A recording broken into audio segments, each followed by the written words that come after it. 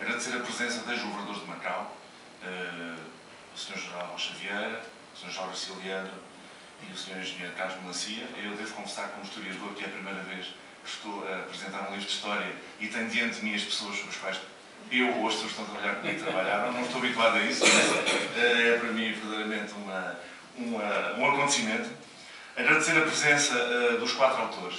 Uh, enfim, tenho pena que não esteja o meu colega uh, professor António Saldanha, enfim, ele está como sabem, neste momento a residir em Macau e a trabalhar em Macau e por razões de, de calendário não pôde estar presente, mas estão uh, os meus colegas António Martins do Val, uh, Paulo Pinto, uh, Teresa Lopes da Silva e uh, Alfredo Gomes Dias, a quem agradeço muito o empenho e a qualidade da investigação e dos textos postos neste livro. Agradeço também muito, eu acho que nos dias que correm estas coisas devem ser salientadas, o trabalho de equipa que eh, foram realizando ao longo dos anos. Eh, com partilha de informações, com partilha de documentação, eh, sem compartimento estanque, embora, como se apercebam ao folhear o livro, alguns deles, digamos, tomaram para si apenas determinados períodos da história de Macau. E já agora também sinto uma obrigação de lhes agradecer a paciência de esperar pela sua publicação. Julgo que, olhando para o resultado final, eh, eh, acho que a espera valeu a pena. Quero saudar também o editor, Rogério Beltrão Coelho, com quem tive o prazer já de trabalhar e que agora volto eh, a trabalhar com ele e que, uma vez mais, mostrou o seu profissionalismo, a sua qualidade e, se me permitem, o bom gosto da composição gráfica e visual deste livro e dos seus conteúdos, da capa, etc. Por fim, agradecer muito a presença do público presente, de colegas, de amigos eh, e de alunos, eh, em particular os alunos do Conselho de Estudos Asiáticos. Nesta casa faz todo o sentido agradecer a presença deles, que vejo entre a assistência.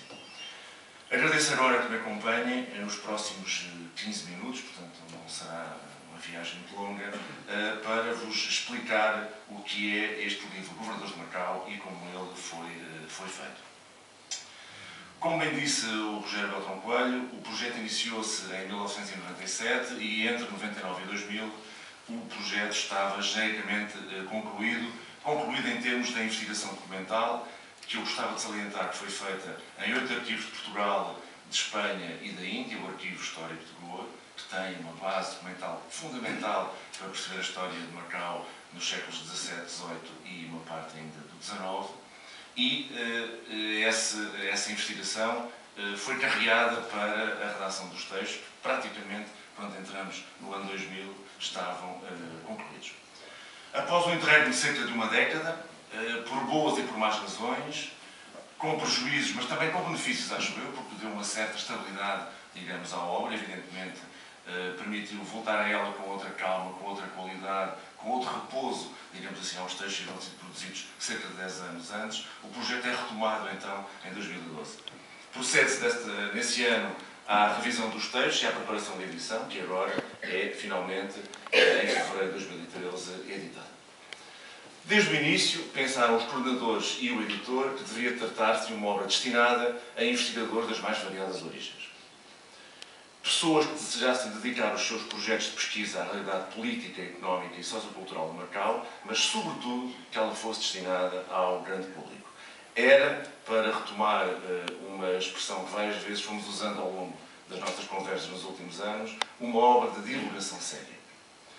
Ao longo das cinco centenas de páginas desta obra desfilam, ordenadas cronologicamente, as biografias de todos os capitães gerais, governadores, encarregados de governo, governadores interinos e ainda conselhos de governo que assumiram nas suas mãos os destinos da administração portuguesa de Macau desde o século XVII até ao final do século XX.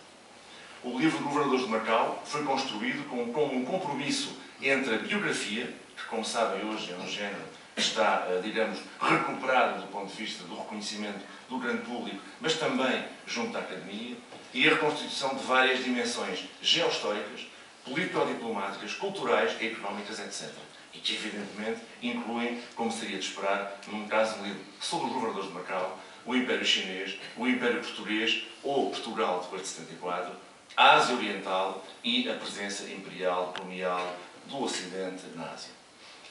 Mas este é também um livro sobre a sociedade de Macau nas suas múltiplas dimensões política, social, económica, cultural, etc.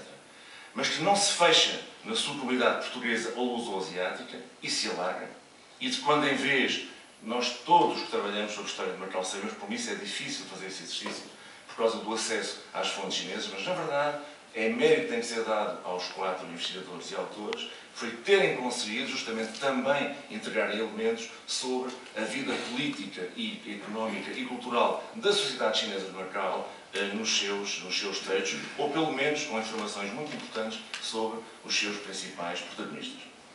Houve, evidentemente, como devem calcular, a questão da metodologia, que foi largamente ponderada para uh, uh, o uso na construção dos textos, ou se preferem, para o uso na construção das biografias uh, de mais de uma centena de pessoas que assumiram o mais alto cargo da administração do Macau.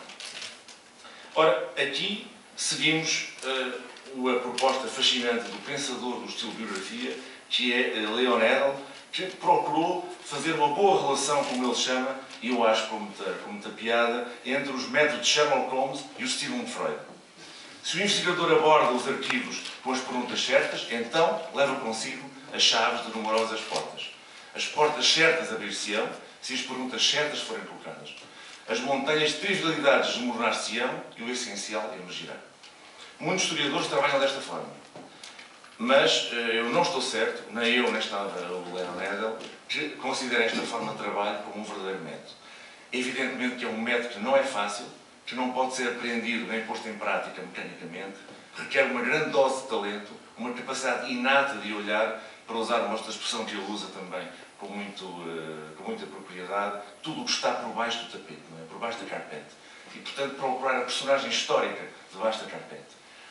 Ora, o que nós justamente temos, do meu ponto de vista deste livro, é que ficamos a conhecer muitas vezes, através de uma prosa que se quis fluida e clara, os personagens que se escondem debaixo das carpetes, graças ao talento investigativo e à prosa de Gomes Dias, de António Val, de Paulo Pinto e de Teresa Lopes da Silva. É claro que eh, os investigadores que trabalharam nos séculos XVII e XVIII, Paulo Pinto e António Val, lutaram muitas vezes contra a escassez de documentação. Apesar dos arquivos que foram visitando, esse facto foi qualquer coisa que não foram, muitas vezes, conseguindo resolver. Em contrapartida, os investigadores do século XIX e XX, Teresa Lopes da Silva e Alfredo Gomes Dias, lutaram exatamente contra o contrário, muitas vezes, não é? O excesso de informação e o excesso de documentação. Ora, exatamente foi, do meu ponto de vista, o ótimo exercício que todos os quatro conseguiram fazer, de jogar muito bem com as faltas da documentação e com o excesso de documentação para carregarem a informação na dose certa, a tal uh, prosa fluida e clara que vos falava há pouco, que surge nas entradas eh, de cada um dos biografados neste eh, livro dos governadores. Dos vários biografados e da sua ação governativa na Macau do século XVII, por exemplo, muito pouco se sabia sobre eles e sobre a sua ação governativa. De vários outros, do século XVIII, também sabia, para muitos casos, relativamente pouco. De biografados e da sua ação governativa dos séculos XIX e XX, havia que rever, sobretudo, ideias apressadamente construídas ou, pura e simplesmente, sistematizar uma visão global dos seus mandatos. Se o objetivo foi alcançado, o mérito é certamente da equipa de investigadores que agora se tornam autores com a edição deste livro. O dia de hoje é, sobretudo, deles. A boa e a má notícia que tenho para lhes dar é a partir deste instante, este livro deixa de ser deles. Passa a ser de todos os que o lerem, espero que com proveito e com um olhar fortemente crítico. cinco ou seis aspectos gostava também de partilhar convosco relativamente uh, uh, aos conteúdos deste livro, que me parece que podem ser ressaltados, enfim, dos outros, certamente, mas uh, sete, pelo menos, que eu acho que merece a pena de termos ligeiramente neles. A primeira, a primeira ideia, que foi, digamos, acompanhando a produção da obra desde o seu princípio ao longo destes, destes anos todos, foi uh, a notória falta de obras de conjunto uh, e até de se quiserem também, uh, como esta, para outros pontos da presença oficial portuguesa colonial ou não nazi. Não, é? não há obras semelhantes a esta, tirando talvez o caso dos governadores e vice-reis da Índia, há relativamente pouca coisa publicada deste género para a presença oficial portuguesa na Ásia. Deve-se orientar-se, contudo, porque é justiça fazê-lo, as pistas de trabalho foram levantadas por Mafalda Soares Cunha e por Nuno Gonçalo Monteiro relativamente aos vice-reis e governadores do Estado da Índia entre os séculos XVI e o século XIX que foram, de resto, muito úteis para nós, coordenadores, eh, no sentido de definirmos, digamos assim, um modelo eh, de constituição estrutural desta obra. Por outro lado, há a questão da polaridade entre os nomeados para o mais alto cargo da arquitetura política e institucional de Macau, vindos de Portugal, seja do reino, seja da metrópole, e os locais, casados, veteranos da Ásia, ou mesmo luso-asiáticos de Índia Portuguesa, ou mesmo de Macau, sobretudo até meados do século XIX. No caso de Macau, dá-se um percurso invertamente proporcional ao do governo do Estado da Índia. Ao longo do século XVI e até meados do século XIX, dá-se uma aristocratização do cargo de vice-rei ou governador do Estado da Índia e, bem assim, a sua portugalização. O que levou a que a maioria dos detentores do cargo fosse nascida em casas da primeira nobreza do reino e proveniente de Portugal, e muitos deles com pouca ou nenhuma experiência da Ásia, nem sequer de outros domínios ou também os portugueses. Ora, para Macau, no período da monarquia, a tendência foi exatamente a inversa. Predominaram, a partir do século XVII, princípios do século XVIII, os nomeados da média e pequena nobreza luso-asiática e, sobretudo, da chamada Índia Portuguesa.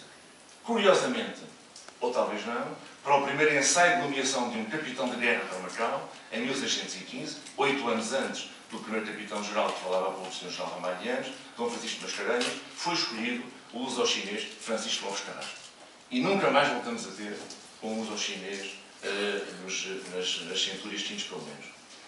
A importância de um trabalho deste tipo, que eu gostava de vos recordar, é de divulgação séria, que tem na retaguarda um considerável investimento documental, gostava de recordar também oito arquivos de três países e bibliográfico, estes também com uma grande preocupação de atualização, com cerca de 450 títulos elencados e lidos, evidentemente, o que transforma também este livro numa bibliografia de enorme utilidade para quem trabalha sobre Macau e as relações luso-chinesas entre os séculos XVI e XX.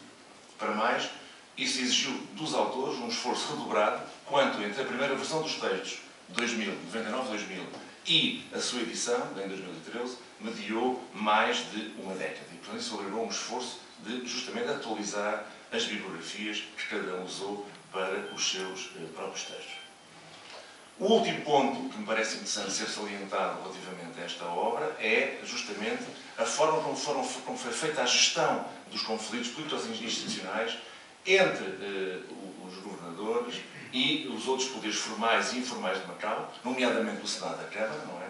E que mostram um longo percurso de avanço e recuos na afirmação da figura do governador, do capitão-geral, o que seja, na arquitetura institucional e política da cidade. Importa sublinhar que o governador de Macau não é uma história de Macau, mas é antes um esforço de síntese de uma realidade histórica complexa, como é a de Macau, onde se cruzam os tempos e os ritmos das mutações que foram ocorrendo na China, em Portugal e no seu Império e, mais globalmente, na Ásia Oriental. Macau é, em última análise, o resultado desta síntese cultural, ao manter-se como ponto de encontro dos mais diversos fluxos de populações asiáticas, europeias e até africanas e americanas aos que governaram esta cidade portuária, coube a difícil missão de considerar interesses, defender direitos, exigir contrapartidas, assumir rupturas, promover desenvolvimento e proceder a reformas que, década após década, foram reconstruindo a cidade. É por isso que é também dos seus governadores a história de Macau. Perdoem-me uma nota pessoal a fechar, eh, é que com a publicação deste livro, que tive o prazer de coordenar, eh, ou de co-coordenar com o professor António Vasconcelos Saldanha, Continuo a saldar uma dívida de gratidão para com Macau, que desde 1990 aprendi a amar tivesse nascido. Muito obrigado.